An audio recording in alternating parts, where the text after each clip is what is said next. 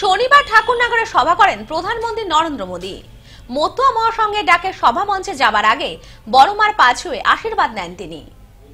ঠাকুরনগরে এসে বড়মাকে প্রণাম করেই সভামঞ্চে গেলেন মোদি।